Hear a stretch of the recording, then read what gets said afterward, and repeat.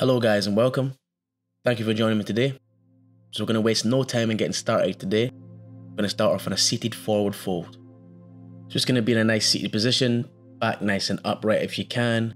And we're just going to lean forward with the aim of grabbing our toes. If you can't do that, of course, that's perfectly fine.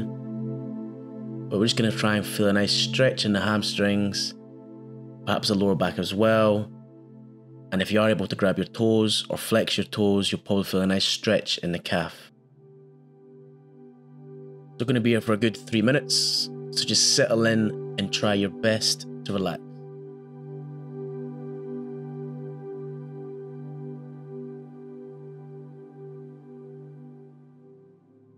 So, these routines and positions are based on yin yoga.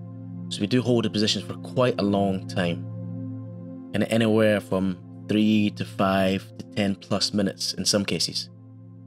You want to just try your best to keep relaxed if you can, and just let gravity do all the work for you.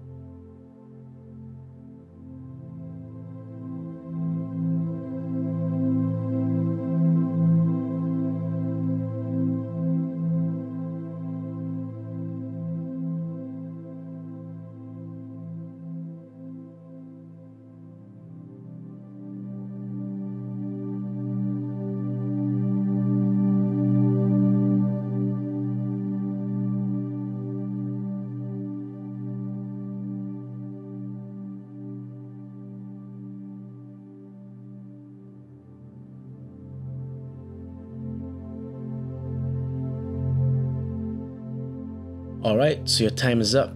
Just take your time coming out of this pose. You've been there for a little while. So we're just going to move to a dragon with a left leg forward. This is a fantastic stretch for your right groin. If you need to, just grab a block to support your right hand.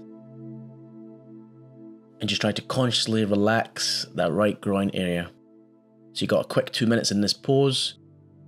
So just settle in as quick as you can and you've got two minutes. If you do find yourself struggling for balance, please do grab a block, a bottle, a chair, your bed, just anything to help you stabilize a little bit. That'll just help your body relax a little bit more, help your joints and your muscles relax, and hopefully just allow your body to open up.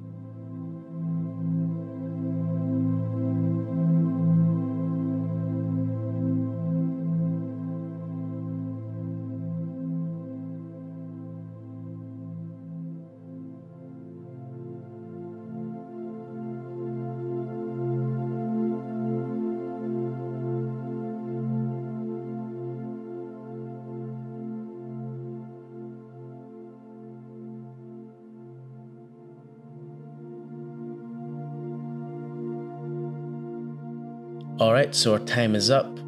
So we're not going very far. We're just going to go into a lizard on the left hand side. If you can, you're going to bring your body forward with the aim of getting your elbows on the floor on the inside of your left leg.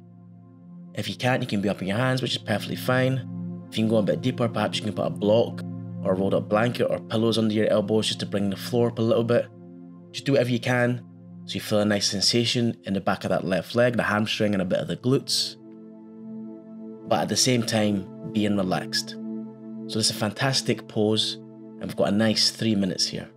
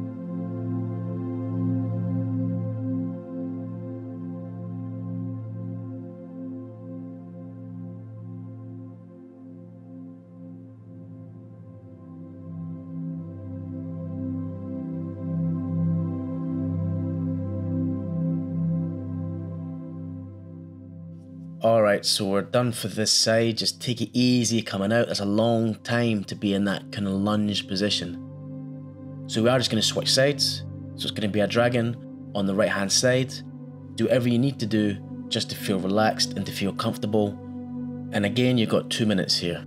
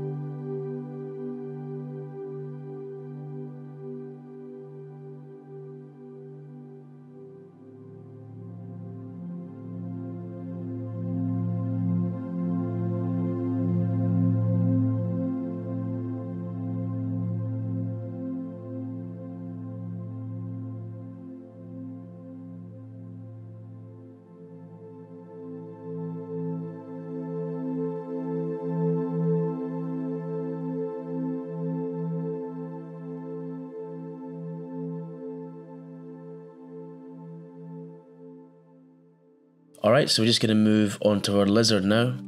So once again, if you can, just bring your elbows onto the inside of your leg. If you can't do that, just up onto your hands is perfectly fine as long as you're feeling the sensation. And it's three minutes here. So try to relax as much as you can. Try to concentrate on the breath if you can. Just simply just think about the breath coming into your body and the breath going back out of your body. So you have three minutes. Please do enjoy.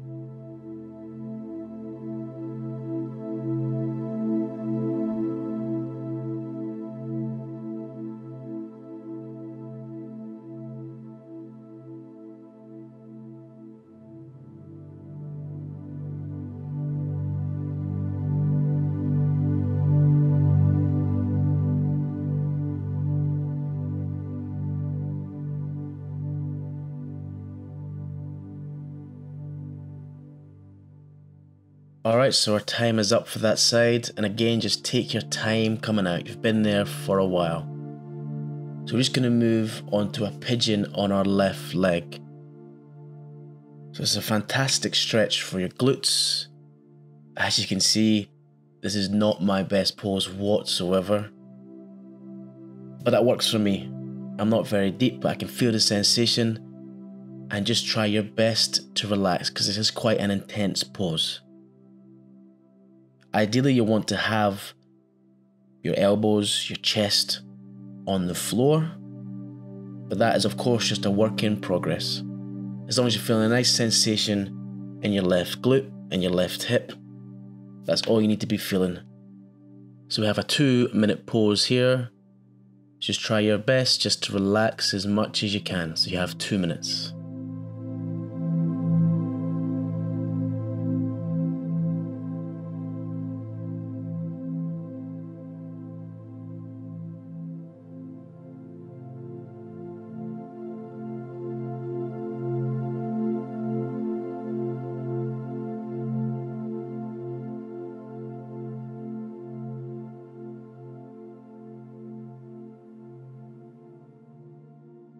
So something to look out for in this pose is to just try and keep your hips square. So want to try and keep them facing towards the front of your mat. If you do find that one hip is twisting, one hip is dropping too much, or if your back leg is rotating out the way, just come out the pose a little bit, decrease the depth. And if you find it helpful, you can put a block or a blanket under your left hip, just to try and help you keep those hips nice and straight and square. And it should go without saying as well, if you find any pain in your knee at all during this pose, please, please do come out.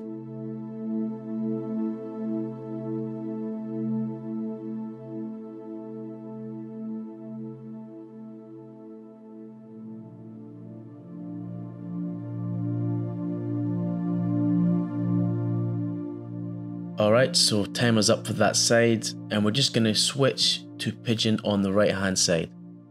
Take your time, there's no rush in switching between these poses, and whenever you're comfortable, just relax into the pose.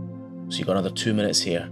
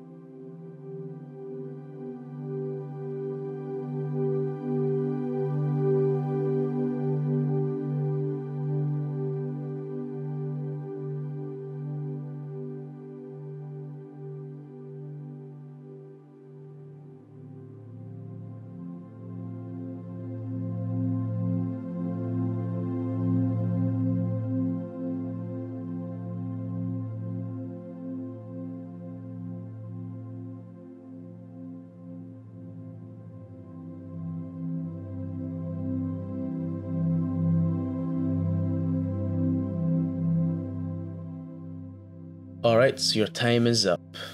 So we're just going to move into the puppy dog pose now. So you've got two options here. You can keep your arms extended out in front of you, or you can bend your arms, place your hands together, and try and put your thumbs into the back of your neck. This changes the pose a little bit. You might feel a little bit more in your lats and in your triceps. If you stick for the extended version, you might find a nice stretch in your chest and the front of your shoulders, but it's likely going to be on the back of the body. So take your pick and you have two minutes here.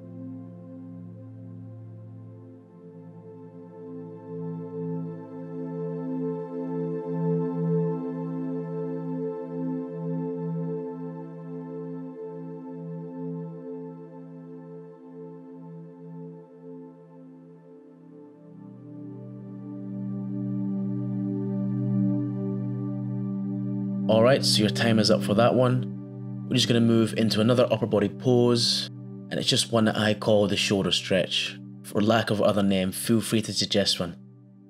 So you're going to bring your hands behind you. You want to ideally keep your hands shoulder width apart if you can, but that's not always possible. And what you want to try and do is get as close to the ground as possible.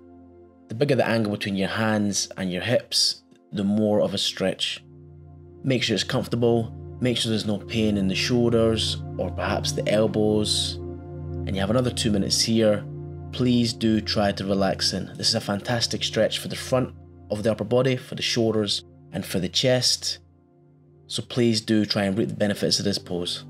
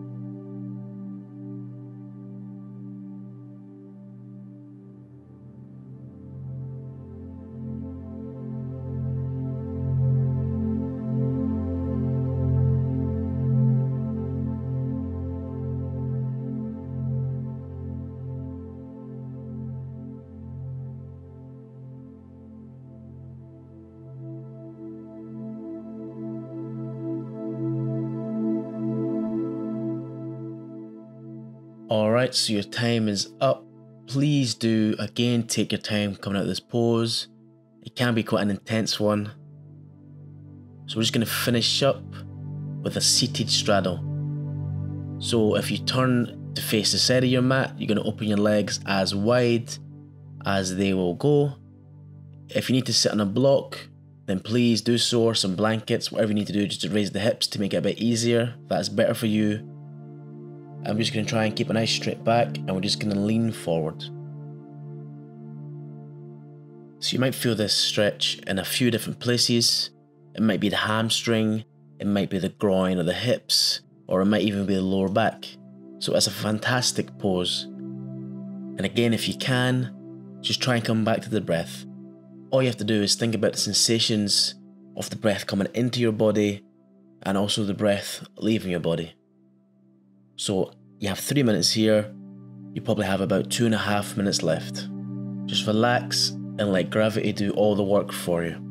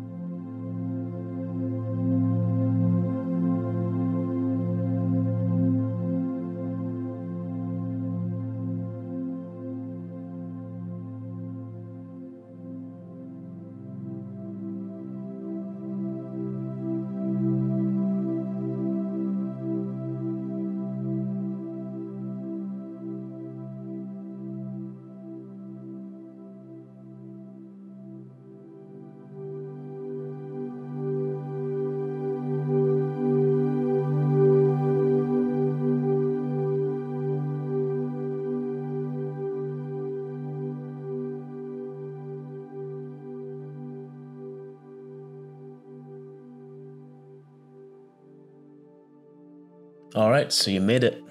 Time is up. And that is almost us for the routine. So, we've of course got our rebound pose left to do. And this is just a great pose to take time and feel the different sensations in the body. To compare how the body felt before the routine and how the body feels now after the routine. So just come lying onto your back. Stay here for as long as you want to. I'll keep the music playing and just take time to relax. Thank you for joining me today. If you like these routines, please do subscribe, share, and comment. And hopefully, I'll see you next time.